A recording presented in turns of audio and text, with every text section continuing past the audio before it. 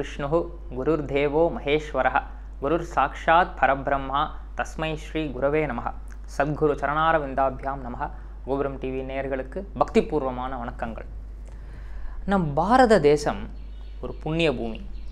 மகா புண்ணிய பூமிங்கிறது.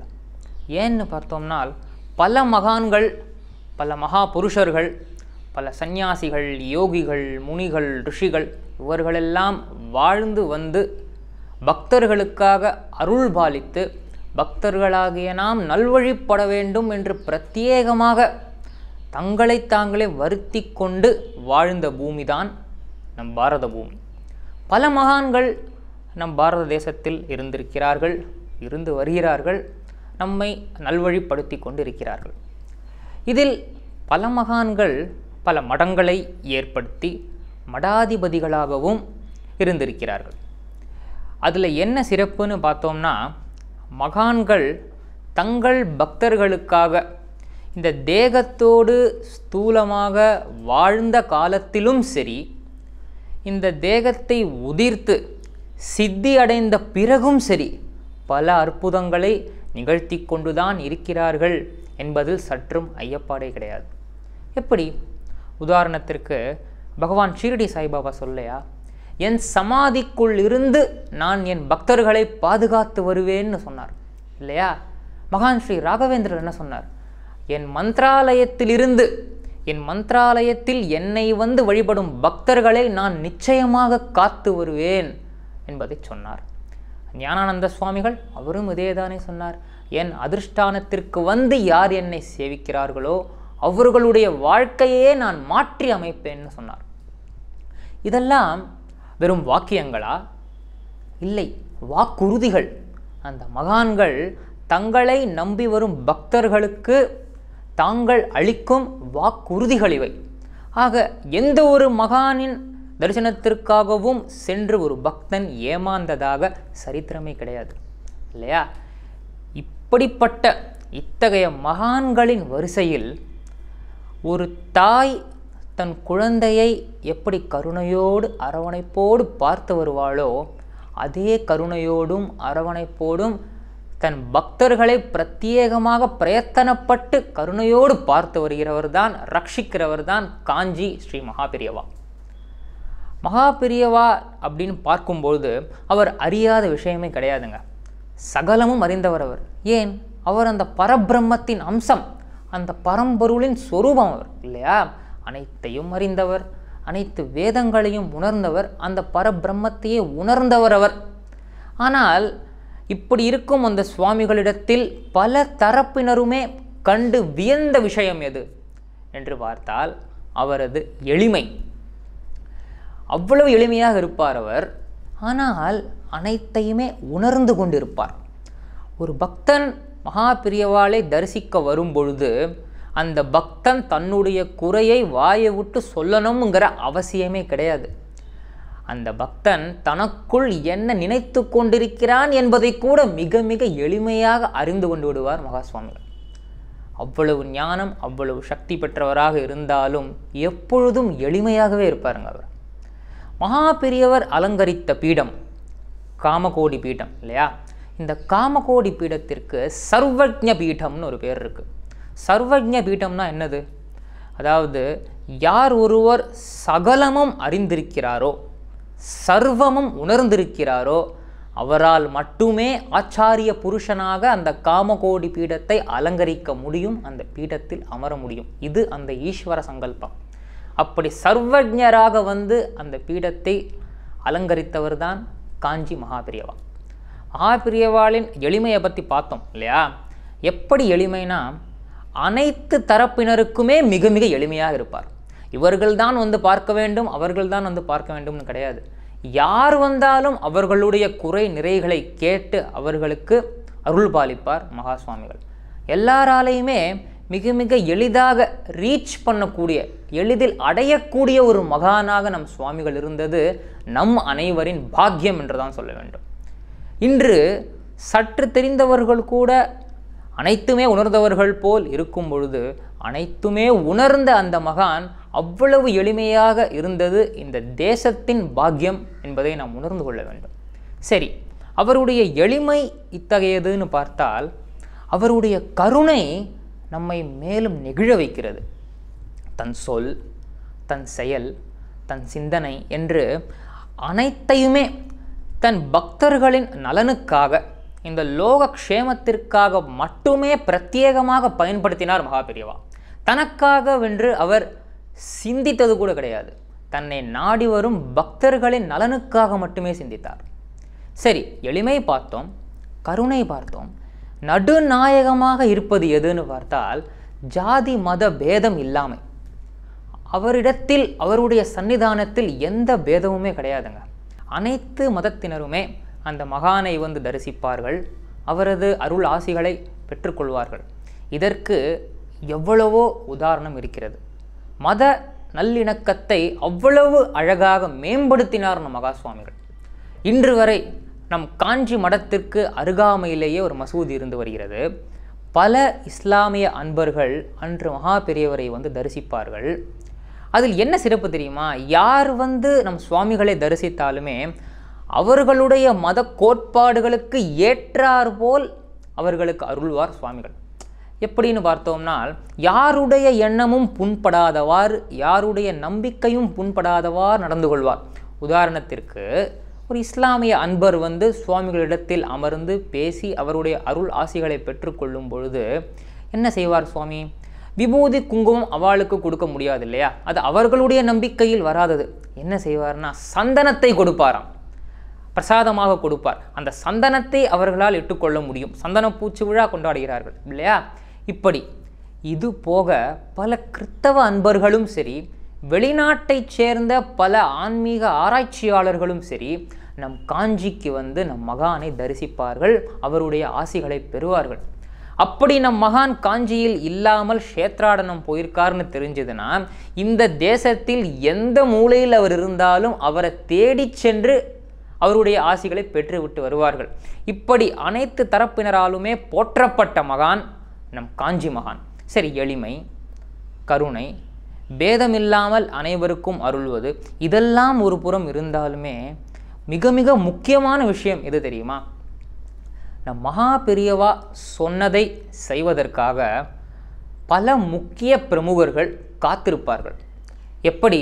என்றால் அரசியல் தலைவர்கள் நம் சிந்தனையிலேயே காண முடியாத அளவிற்கு உயர்ந்த இடத்தில் இருந்த பல முக்கிய அரசியல் பிரமுகர்கள் சினிமா துறையில் கொடிகட்டி பறந்தவர்கள். நம் யாரை சொன்னாலும் சரி பெரியவா வாழ்ந்த காலத்தில் ஸ்தூலமாக வாழ்ந்த காலத்தில் சினிமா துறையில் கொடிகட்டி பறந்த பல உச்ச நட்சத்திரங்களும் சரி பல கோடீஸ்வரர்களான தொழில் அதிபர்களும் சரி அரசாங்கத்தில் பல உயர்ந்த பதவிகளில் இருந்தவர்களும் சரி நம் மகா பிரியவாளின் தரிசனத்திற்காக காத்திருப்பார்கள். அவருடைய கடைக்கண் பார்வை ஒரு க்ஷணமாவது தம் மேலே விழாதான்னு அவ்வளவு ஏக்கத்தோட பார்த்துட்டுருப்பா அவர் சொல்லும் அருள் உரைகளை இரண்டு நிமிஷமாவது கேட்க மாட்டோமான்னு காத்துன்ருப்பா மகாபிரியவா ஒன்று சொன்னார்னா அதை சொடக்கு போடும் தருணத்தில் செய்து முடிக்கக்கூடிய நிலையில் பல மக்கள் இருந்திருந்தாலும் தனக்காக வென்று எதையுமே கேட்டதில்லை அந்த பரபிரமம் அதுதான் அதில் மிக மிக முக்கியமான விஷயம். தனக்காக தன் நலத்தை பற்றி சிந்தித்து சுயநலமாக என்றென்றும் யாரிடமும் எதையுமே கேட்காமல் அப்படியே கேட்டிருந்தாலும் அது பிறரின் நலனுக்காக பக்தர்களின் நலனுக்காகத்தான் இருக்குமே ஒழிய தனக்காகவோ மடத்தின் நலனுக்காகவோ என்றென்றும் இருந்ததே கிடையாது. தான் ஸ்தூலமாக வாழ்ந்த காலத்தில் இந்த தேகத்தை உதிர்க்கும் வரை சாஸ்திரோக்தமாகவே வாழ்ந்தார். சாஸ்திரம் என்ன சொல்லுதோ அதை அப்படியே கடைபிடித்து எளிமையான ஒரு வாழ்க்கையை மட்டுமே வாழ்ந்து வந்தார் நம் காஞ்சி மகான் என்பதில் சற்றும் சந்தேகமே கிடையாது. அதாவது ஒரு இரண்டாயிரத்தி ஐநூறு ஆண்டுகளுக்கு முன்பு எங்கெல்லாம் அதர்மம் நிகழ்கிறதோ எங்கெல்லாம் தர்மம் சற்று குன்றுகிறதோ அங்கெல்லாம் நான் அவதரிப்பேன் என்று சென்ற யுகத்தில் பகவான் கிருஷ்ணர் சொன்னார் இல்லையா? அதை காப்பாற்றும் விதமாக தர்மத்தை ரட்சிப்பதற்காகவும் பக்தர்களை போஷிப்பதற்காகவும் நம்மை நல்வழிப்படுத்துவதற்காகவும் சாக்ஷாத் அந்த பரமேஸ்வரனே ஆதிசங்கரராக அவதாரம் எடுக்கிறார். ஆதிசங்கர பகவத்பாதாள் என்று நம் அனைவராலும் ஆதிசங்கராச்சாரியால் என்று பக்தர்களாலும் போற்றப்படும் மகான் இவர். இவர் இந்த தேசம் முழுக்க யாத்திரை பண்ணியிருக்கார். இந்த தேசத்தில் அனைத்து இடங்களிலும் அவரது திருப்பதங்கள் பட்டுள்ளது. அவர் என்ன பண்ணாராம்? ஒரு முறை திருக்கைலைக்கு போகிறார் திருக்கைலைக்கு போய் அங்கே போய் இந்த பகவானை வேண்டிக்கிறார். எப்படி வேண்டினார்? அம்பாள் சகிதமாக சுவாமியை தரிசிக்கிறார் ஆதிசங்கர பகவத் பாதாள். அவ்வளவு மகிழ்ச்சி அவ்வளவு சந்தோஷம். உடனே என்ன பண்ணார்? சிவ கேசாந்தி பாதாந்த வர்ணனை என்ற அந்த ஸ்தோத்திரத்தை பாடுகிறார். சிவபெருமானை சிரசிலிருந்து பாதம் வரை பார்த்து அவரை வேண்டி வணங்கி பிரார்த்தித்து எழுதிய ஒரு அதி அற்புதமான ஸ்தோத்திரம் அது. அதை பாடி அதை அந்த பகவான் கேட்டதுமே அவ்வளவு ஆனந்தம் அந்த பகவானுக்கு. இவ்வளவு நன்னா இருக்கேன். பகவான் என்ன செய்தார் தெரியுமா? ஐந்து ஸ்படிக லிங்கங்களை எடுத்து சிருஷ்டித்து அதை நம் ஆதிசங்கர பகவத் பாதாளின் திருக்கரத்தில் வச்சுட்டார் சுவாமி. ஐந்து லிங்கங்கள். இது போக ஒரு பனை ஓலையை எடுத்து அதில் சில அற்புதமான ஸ்தோத்திரங்களை இயற்றி அதை நம் ஆதிசங்கரர் இடத்தில் கொடுக்கிறார் சுவாமி. அந்த பனை ஓலையில் இருந்த ஸ்தோத்திரம்தான் அம்பாளை பற்றி சுவாமியே புகழ்ந்து எழுதிய ஸ்ரீ சௌந்தர்யலகரியின் தொடக்கம். இப்பொழுது இந்த ஐந்து லிங்கங்கள் இருக்கு. அதில் அந்த நான்கு லிங்கங்களை வெவ்வேறு இடத்தில் ஸ்தாபிக்கிறார் வெவ்வேறு ஆச்சாரிய புருஷர்களிடத்தில் கொடுக்கிறார் ஆதிசங்கர பகவத் பாதால் அது பின்னாடி பார்ப்போம். அதில் ஐந்தாவதாக ஒரு லிங்கம் இருக்கு. அது யோக லிங்கம். அந்த லிங்கத்தை எடுத்துண்டு ஆதிசங்கரர் ஒரு ஊருக்கு வரார். நம் தமிழகத்தில் உள்ள ஒரு ஊருக்கு வரார். அந்த ஊருக்கு வந்து அங்கு ஒரு ஸ்ரீ மடத்தை ஸ்தாபிக்கிறார். அந்த மடத்தில் வந்து அமர்ந்து அங்கு ஒரு பீடத்தை ஏற்படுத்துகிறார். அங்கு அந்த சுவாமிக்கு அவர் கொண்டு வந்த அந்த யோக லிங்கத்திற்கு நித்தியபடி பூஜை செய்ய துவங்குகிறார். தன் வாழ்நாள் முழுக்க தான் வாழ்ந்த காலம் வரை தன் தேகத்தை உதிர்க்கும் வரை அந்த மண்ணிலேயே வாழ்கிறார். அந்த மண்ணில்தான் தன் தேகத்தை உதிர்க்கிறார். அது எந்த ஊர்? அந்த ஊர்தான் நம் காஞ்சிபுரம். அது என்ன மடம்? அந்த மடம்தான் நம் காஞ்சி ஸ்ரீமடம்.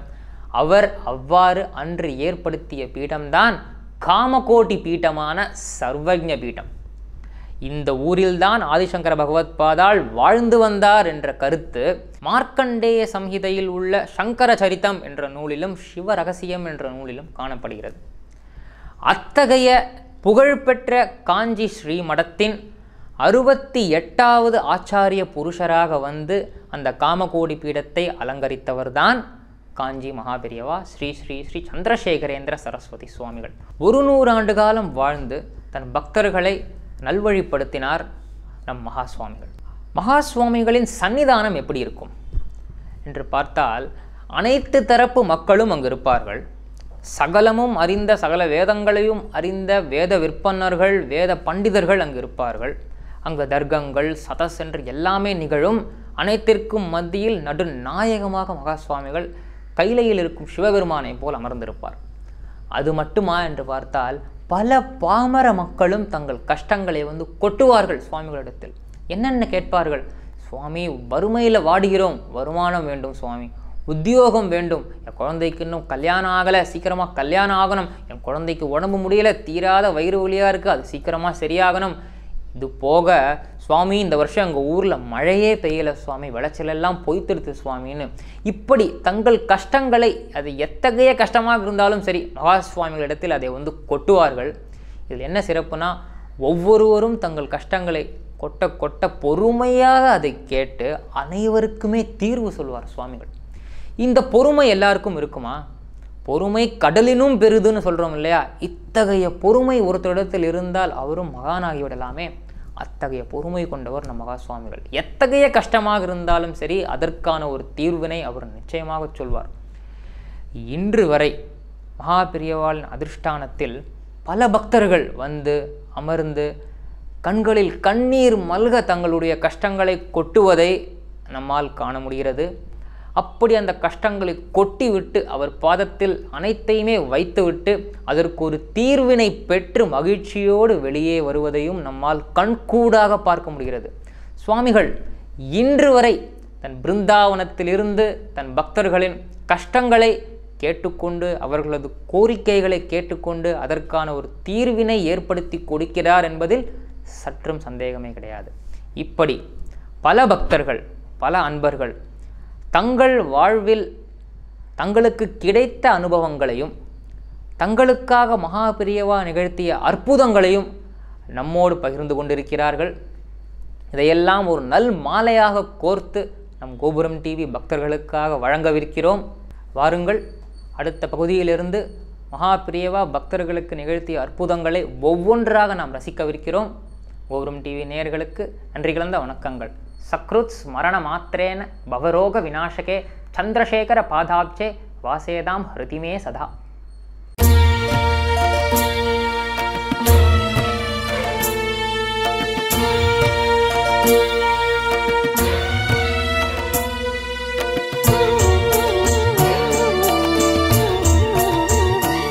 விதம் விதமான பக்தி நிகழ்ச்சிகளை உங்களுக்காக தந்து கொண்டிருக்கிறது உங்கள் கோபுரம் டிவி. உங்களுக்கு பிடித்த நிகழ்ச்சிகளை லைக் செய்யுங்கள். உங்களுக்கு பிடித்த மாணவர்களுக்கு ஷேர் செய்யுங்கள். மேலும் சப்ஸ்கிரைப் செய்வதோடு மட்டுமல்லாது அருகில் இருக்கும் பெல் பட்டனை கிளிக் செய்து கோபுரம் டிவி நிகழ்ச்சிகளை உடனுக்குடன் தெரிந்து கொள்ளுங்கள். மற்றும் ஒரு மகிழ்ச்சியான செய்தி. கோபுரம் டிவி ஆப்பை கூகுள் பிளே ஸ்டோரில் ஃப்ரீ டவுன்லோட் செய்து கோபுரம் டிவி நிகழ்ச்சிகளை தொடர்ந்து கண்டுகளியுங்கள். பாருங்கள் ரசியுங்கள் பரவசமடையுங்கள். கோபுரம் டிவி டாட் காம். பக்தி பக்திமயம்